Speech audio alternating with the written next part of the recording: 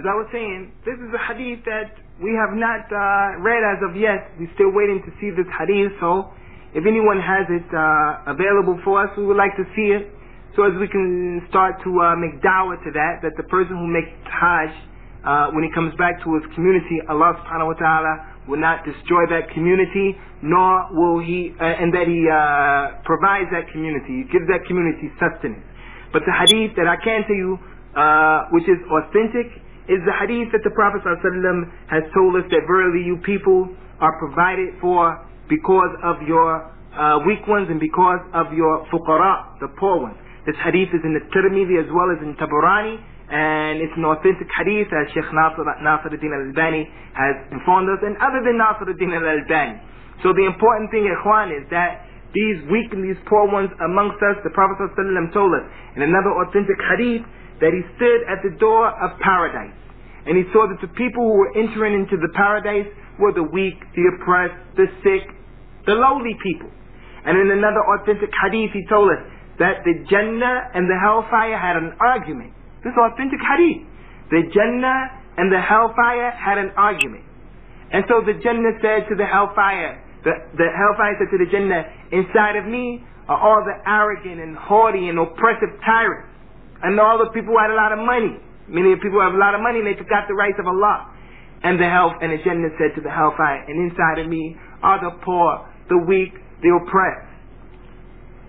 So we know from these two hadith that the Prophet sallallahu alaihi wasallam was giving us an example to let us know that it's not really, you know, a shameful thing to be poor if that's what Allah subhanahu wa ta'ala has decreed for you. But we know in another authentic hadith that helps us to understand so that we don't get the Sufi mentality and start to sit down and just say, you know, our our sustenance is going to come from the sky.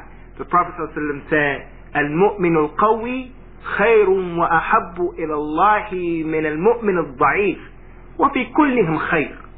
Prophet ﷺ said, "The believer who is strong in his iman and in his body, this is a general statement. The believer who is strong is better than the is better and more beloved to Allah than the believer who is weak. And in both of them is good. So therefore, we understand the believer, the mu'min, who is powerful in his body, can make jihad, and he can strike the necks of the kuffar, and he can protect his family and to protect himself and the properties of the Muslims, as well as the mu'min being strong, meaning he has a lot of money, or he has sustenance, he can work, he's better for the well-being of the community as a whole. Better than the mu'min who is weak and oppressed and he can't do anything for us. That's what the Messenger of Allah said. So, Ikhwan, with that, I bring this tape to an end, inshallah. We're sorry for the tape taking so long. We didn't want it to be two tapes at all. It was only supposed to be uh, one tape and a half, actually.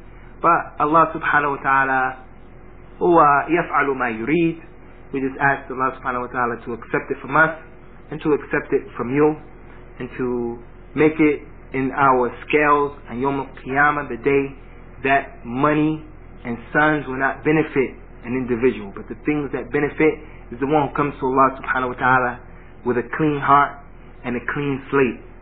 So I ask Allah subhanahu wa ta'ala to have mercy upon myself and my family and upon you all and your families and to make it easier for us in terms of practicing our religion and understanding our religion.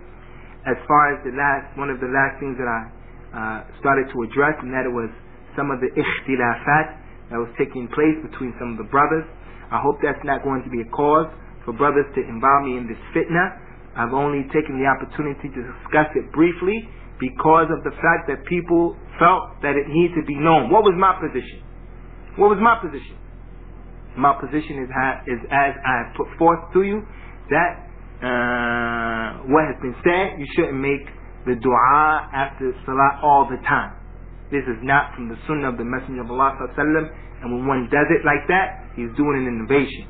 And we have many of the scholars today who are explaining to us that this is an innovation like the Sheikh Ibn Baz as well as Albani, Ibn Uthaymeen, Abdullah ibn Jibreen, Abdul Rahim al-Tahan, Ali Hassan Abdul Hamid, Salim al-Hilali, Mashhur Hassan, So many of the ulama, Salih al-Harbi, Umar Falata, Abu Bakr al-Jazairi, Abdullah, Muhammad ibn Abdullah al-Ghunayman, Muhammad Aman al-Jami, too many ulama.